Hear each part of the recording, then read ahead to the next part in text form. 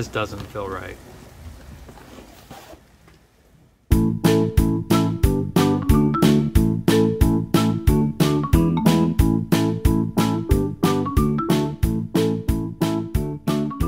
Hey everyone, my name is Tom and I welcome you to Escape Reality Hobbies.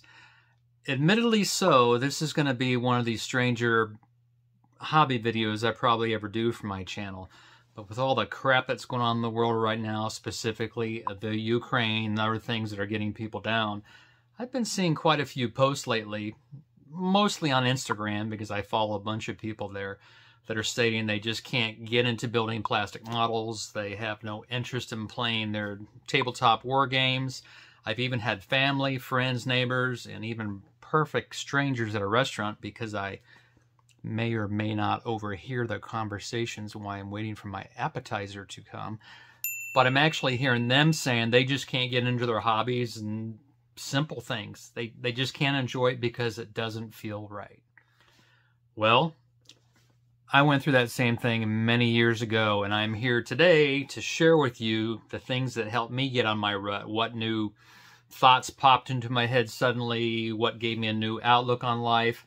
That you know what, it's okay to enjoy your hobbies. So, what I want to share with you is how to keep calm and carry on. In September of 2001, I was stationed at Fort Meade, Maryland. I had been in the Navy for mm, a little over 18 years at that point. Um, I had belonged to a couple modeling clubs in the area. I wasn't a prolific modeler whatsoever. If I did three, four models a year, that was pretty good for me. And then this happened.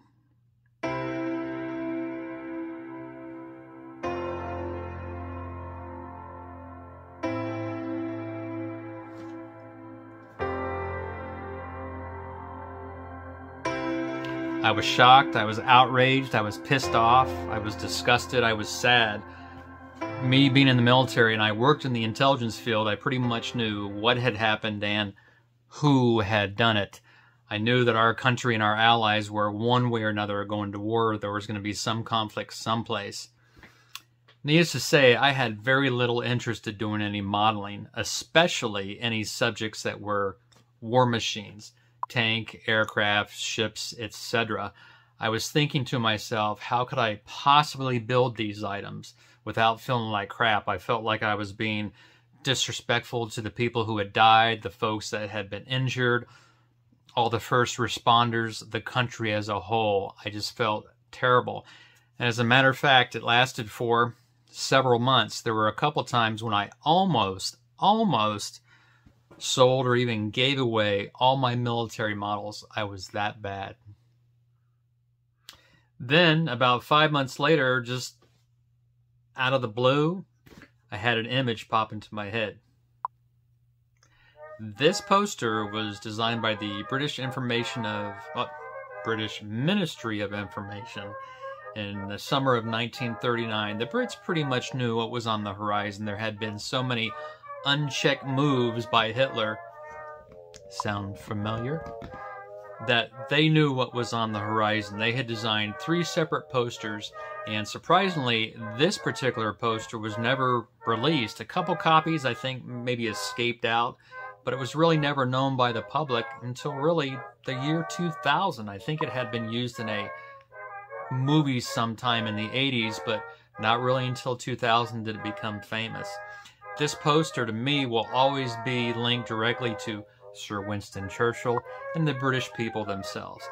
Now, granted, keep calm and carry on. What does that mean? To me, this is how I interpret it. No matter what's going on in life, no matter what crap is around you, continue to be you.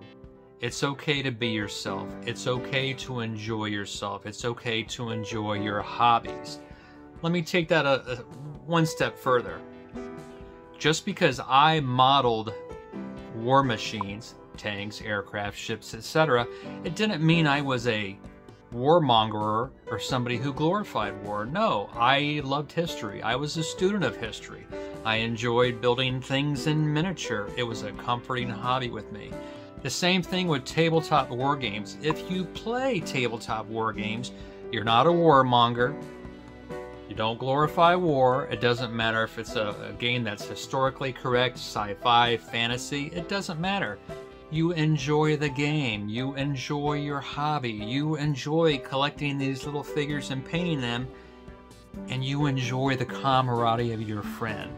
If you let what's going on in the world around you keep you from doing what you want to do, you're letting the idiots in the world, this jerk right here, get to you. Don't let them defeat you as well. Enjoy life, keep calm, carry on. I hope these thoughts in one way helped you out a little bit. It's okay to enjoy your hobbies when crap's going on in the world. Be yourself, be happy, enjoy life, and most importantly, I hope that you get to escape reality with your hobbies quite often. Take care, everybody.